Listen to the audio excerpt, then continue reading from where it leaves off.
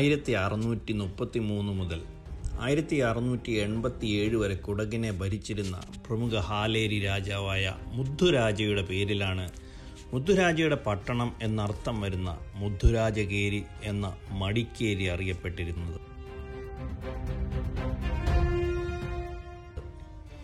ആയിരത്തി എണ്ണൂറ്റി മുപ്പത്തി നാല് മുതൽ ബ്രിട്ടീഷ് ഭരണകാലത്ത് ഇതിനെ മർക്കാര എന്നാണ് വിളിച്ചിരുന്നത്.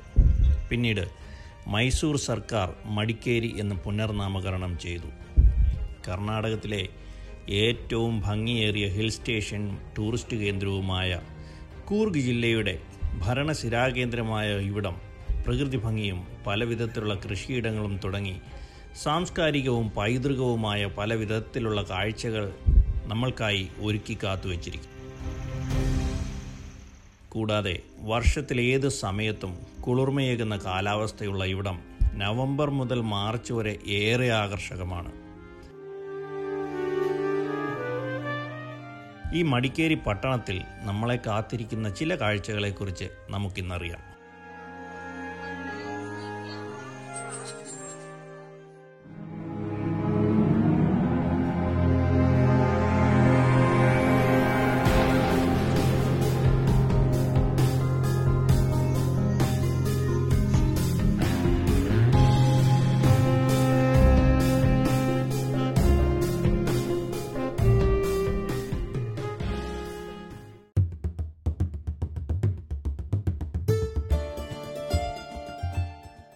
രാജാ സീറ്റ് രാജാവിന്റെ ഇരിപ്പിടം.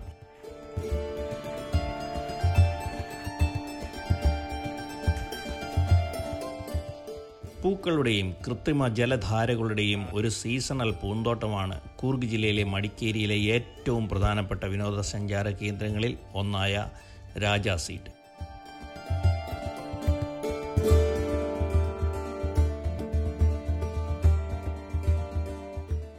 പച്ചപ്പിന്റെ പാളികൾ മൂടൽമഞ്ഞുകൊണ്ട് അലങ്കരിച്ച ഉയർന്നതും താഴ്ന്നതുമായ പർവതങ്ങളുടെ ശൃംഖല. അസ്തമയ സൂര്യനെ വീക്ഷിക്കുകയും ഇവിടെ തങ്ങളുടെ രാജ്ഞിമാരോടൊപ്പം സമയം ചെലവഴിക്കുകയും ചെയ്യുന്ന കുടകിലെ രാജാക്കന്മാർക്ക് ഒരു കാലത്ത് പ്രിയപ്പെട്ട സ്ഥലമായിരുന്നു.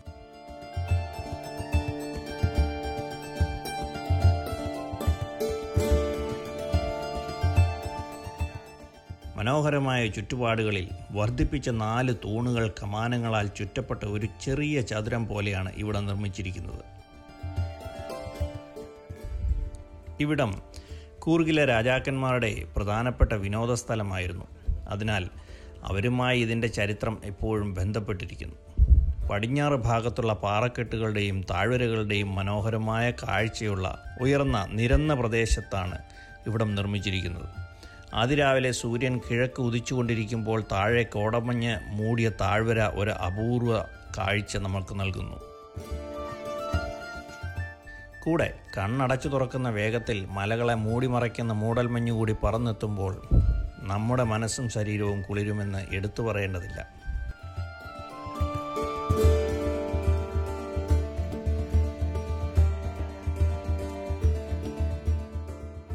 ശ്രീ ഓംകാരേശ്വര ക്ഷേത്രം. കൂർഗിലെ മടിക്കേരിയിൽ ശ്രീ പരമശിവന്റെ നാമത്തിൽ നിർമ്മിച്ച് സമർപ്പിച്ചിരിക്കുന്ന ഒരു ക്ഷേത്രമാണ് ഓംകാരേശ്വര ക്ഷേത്രം. ഗോത്തിക് ഇസ്ലാമിക് ശൈലികളുടെ മിശ്രിതമാണ് ക്ഷേത്രത്തിന്റെ നിർമ്മാണം എന്നതാണ് ഇതിന്റെ പ്രത്യേകത. കൂർഗിലെ ഒരു പ്രശസ്തമായ ക്ഷേത്രമാണിത്. ധാരാളം വിനോദസഞ്ചാരികളെയും ഭക്തരെയും പതിവായി ആകർഷിക്കുന്ന ക്ഷേത്രം.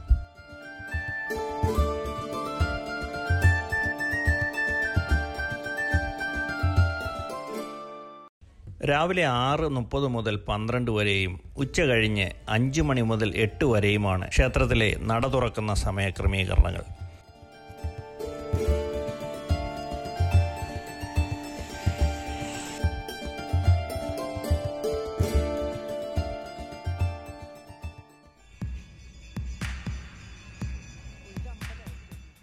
മടിക്കേരി ഫോർട്ട്. പതിനേഴാം നൂറ്റാണ്ടിന്റെ രണ്ടാം പകുതിയിൽ മുദ്ദുരാജയാണ് മർക്കാരക്കോട്ട കോട്ട എന്നറിയപ്പെട്ടിരുന്ന മടിക്കേരി കോട്ട നിർമ്മിച്ചത്. ഇതോടുകൂടി അദ്ദേഹത്തിന്റെ കൊട്ടാരവും നിർമ്മിച്ചിരുന്നു.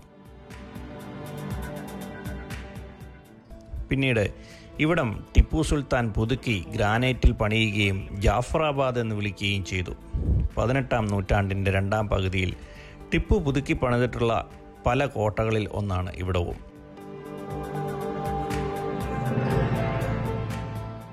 ആയിരത്തി എഴുന്നൂറ്റി തൊണ്ണൂറിൽ ദൊഡ്ഡവീര രാജേന്ദ്ര കോട്ടയുടെ നിയന്ത്രണം ഏറ്റെടുത്തു. ആയിരത്തി എണ്ണൂറ്റി പന്ത്രണ്ട് മുതൽ പതിനാല് വരെയുള്ള കാലഘട്ടത്തിൽ ലിംഗരാജേന്ദ്ര രണ്ടാമൻ കൊട്ടാരം പുതുക്കി പണിയുകയുണ്ടായി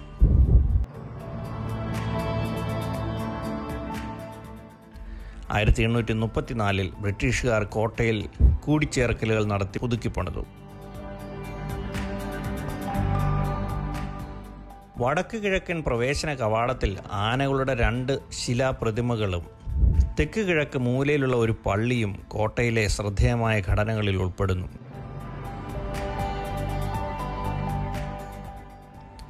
പതിനേഴാം നൂറ്റാണ്ടിന്റെ രണ്ടാം പകുതിയിൽ മുദ്ധുരാജയാണ് മർക്കാരക്കോട്ട എന്നറിയപ്പെട്ടിരുന്ന മടിക്കേരി കോട്ട നിർമ്മിച്ചത്.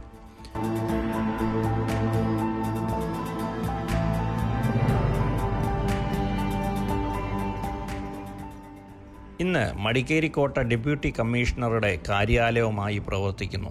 ഇതോടുകൂടി ചേർന്നുള്ള പള്ളി കർണാടക സ്റ്റേറ്റ് ആർക്കിയോളജിക്കൽ ഡിപ്പാർട്ട്മെന്റിന്റെ കീഴിൽ ഒരു മ്യൂസിയമായി പ്രവർത്തിക്കുന്നു.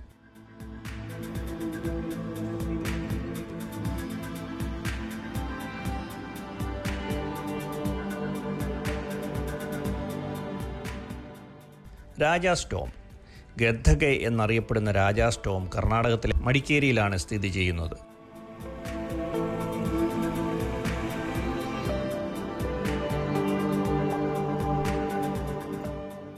അക്കാലത്തെ ഇൻഡോ സാസനിക് കെട്ടിട ശൈലിയിലാണ് ഈ സ്മാരകം നിർമ്മിച്ചിരിക്കുന്നത്.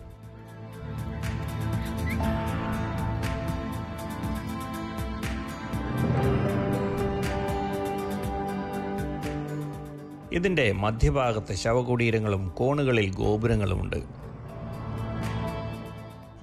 കോണുകളുടെ മുകളിൽ നന്ദി രൂപങ്ങൾ കുത്തിവെച്ചിട്ടുമുണ്ട്.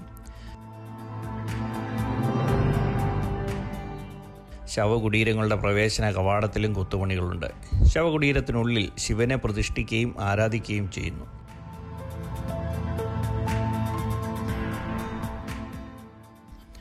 രാജവംശത്തിനായി നിർമ്മിച്ച മൂന്ന് ശവകുടീരങ്ങളുണ്ട്. കൊടക് രാജാക്കന്മാരായ ദൊഡ്ഡവീര രാജേന്ദ്രന്റെയും ഭാര്യ മഹാദേവി അമ്മയുടെയും ശവകുടീരമാണ് ഇവയിൽ ഏറ്റവും വലുത്.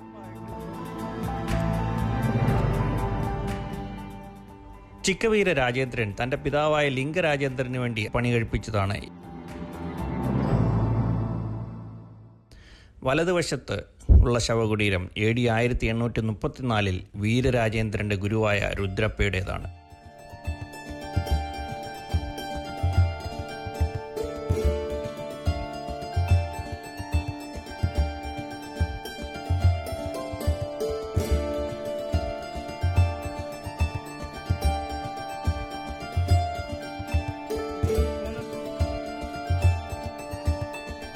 Left is the tomb of the royal priest Rudrappa, built in AD 1834. Nearby, Tipu സുൽത്താനോട് പോരാടി ജീവൻ ബലിയർപ്പിച്ച ധീരരായ രണ്ട് രാജകീയ ഉദ്യോഗസ്ഥരായ ബിദ്ധട ബോപ്പുവിന്റെയും മകൻ ബിദ്ധദണ്ഡ സോമയ്യയുടെയും ശവകുടീരങ്ങൾ ഇതിനടുത്തായി സ്ഥിതി ചെയ്യുന്നു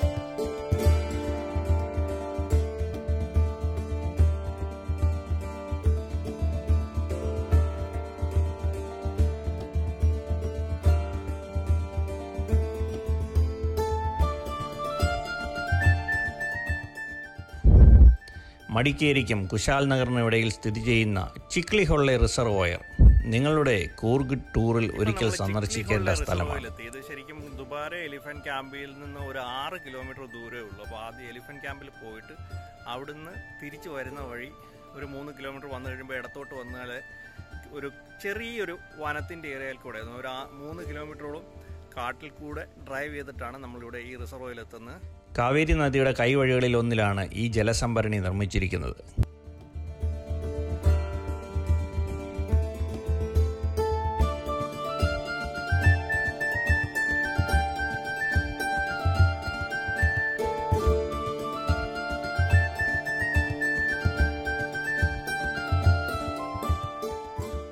കൂർഗിലെ മറ്റ് വിനോദസഞ്ചാര കേന്ദ്രങ്ങളെപ്പോലെ ഈ സ്ഥലം അത്ര ജനപ്രിയമല്ലെങ്കിലും സന്ദർശകർക്ക് ഇത് ചില നല്ല നിമിഷങ്ങൾ വാഗ്ദാനം ചെയ്യുന്നു.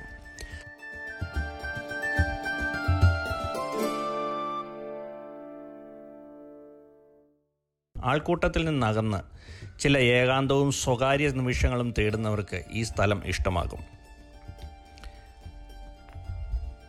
ഈ വലിയ ജലാശയം പ്രകൃതി സ്നേഹികൾക്ക് അനുയോജ്യമായ സ്ഥലമാണ്.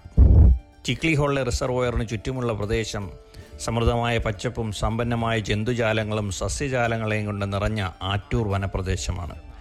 ഇവിടെ നിന്നുള്ള സൂര്യാസ്തമയ കാഴ്ച വളരെ ആകർഷകമാണ്. ഫോട്ടോ എടുക്കുവാൻ താല്പര്യമുള്ളവർക്ക് ഇവിടെ നല്ല അവസരങ്ങളും ലഭിക്കുന്നു. രാവിലെ എട്ട് മുതൽ വൈകിട്ട് അഞ്ച് വരെ പ്രവേശന ഫീസ് ഒന്നുമില്ലാതെ തന്നെ ഇവിടം സന്ദർശിക്കാവുന്നതാണ്. മടിക്കേരിയിലെ പ്രധാന ആകർഷണങ്ങളായ Dubare elephant camp Mandalpatti കുന്നിലേക്കുള്ള trekking Kaveri Nisargadhama Tibetan monastery എന്നീ സ്ഥലങ്ങളെക്കുറിച്ചുള്ള പൂർണ വിവരങ്ങളടങ്ങിയ പ്രത്യേകം വീഡിയോകൾ ഈ ചാനലിൽ ഉള്ളത് കാണുവാൻ മറക്കരുത്. ഈ വീഡിയോ നിങ്ങൾക്ക് ഇഷ്ടപ്പെട്ടുവെങ്കിൽ വീഡിയോ ലൈക്ക് ചെയ്യുകയും നിങ്ങളുടെ അഭിപ്രായങ്ങൾ കമന്റായി എഴുതുവാനും അഭ്യർത്ഥിക്കുന്നു. വീഡിയോകൾ നിങ്ങളുടെ കൂട്ടുകാരിലേക്ക് ഷെയർ ചെയ്യുവാനും ചാനൽ സബ്സ്ക്രൈബ് ചെയ്യാനും കൂടെ പ്രത്യേകം ഓർപ്പിക്കട്ടെ. മറ്റൊരു വീഡിയോയിൽ കാണാം. അതുവരെയും This is Bijoy Varghese signing off. Thank you and bye.